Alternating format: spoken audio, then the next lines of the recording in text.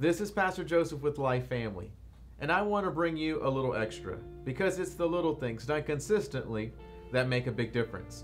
Today we're going to start looking in the book of James. The book of James deals with a lot of personal and collective church issues. It tells us in the book of James that he's writing this book to the people of God scattered abroad. Listen to some of the issues that the church and people were dealing with that caused him to write this. So, the people of God were dealing with personal conflict, temptations. Temptations are what we have when we are dealing with the inner turmoils of life. Temptations because of our flesh, maybe the enemy of our soul, Satan, maybe because we are enticed to, to do certain things that we know God doesn't want us to do. The other thing is testing. Testings happen on the outside, external pressures, situations beyond our control. We're being tested. Other things that the people of God were dealing with was positioning in the church. They were fighting each other for political positioning within the house of God. Some people in the church were struggling with controlling their tongue. They were having issues saying things that were in a Christian like manner. Other people were having issues with falling away from church. People were leaving the church, they were going back to their lifestyle. Other people were having issues with favoring the rich over the poor. And you had some of the members of the church that were being oppressed by the rich. So you had a lot of strife, social, economic issues that the people of God were fighting. There was a lot of injustice in the land. And James was dealing with all these issues. Sound familiar?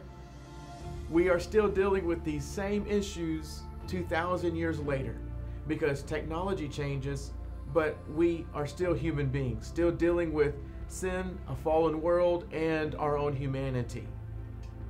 But there's a common thread throughout all these issues and problems in the book of James. That common thread is spiritual immaturity. It was the issue that James was dealing with in this book.